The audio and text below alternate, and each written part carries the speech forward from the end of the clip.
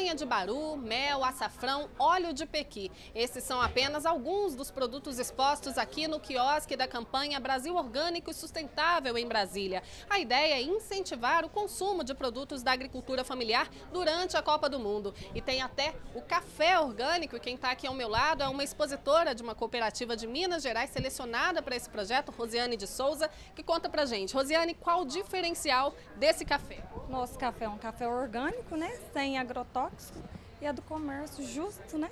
Sustentável. Né? Qual o nome da sua cooperativa e de que cidade? Tá, nós somos da cooperativa dos produtores de café especial de Boa Esperança, somos de Minas Gerais.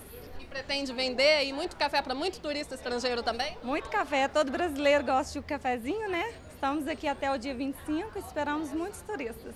E os estrangeiros também estão gostando do café? Muito, muito. Ontem tivemos muitas visitas dos estrangeiros, sim.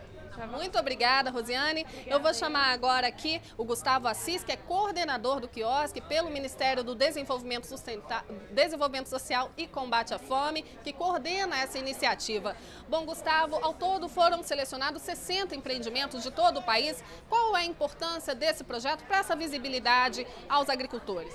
A importância está promovendo essa cadeia de produtos orgânicos que tem um pezinho na área ambiental, um pezinho na área social e no econômico, é o tripé que fortalece esses empreendimentos. Então, a gente está dando mais visibilidade para esses produtores, é, consorciando aqui com o aumento da visitação devido à, à Copa, a realização dos jogos nas cidades sedes. Então a ideia é promover essa cadeia de produtos orgânicos e sustentáveis que a gente tem no Brasil.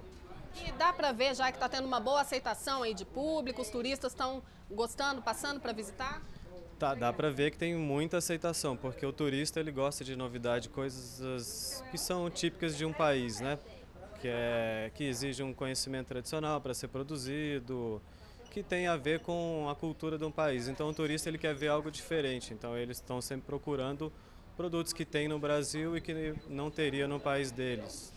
Obrigada pela entrevista, Gustavo. Bom, essa ação faz parte da agenda de sustentabilidade do governo brasileiro para a Copa do Mundo de 2014. E esse mesmo quiosque, com esse formato, também está presente em outras cidades sede da Copa do Mundo. Ana Gabriela Salles, de Brasília, na Copa das Copas.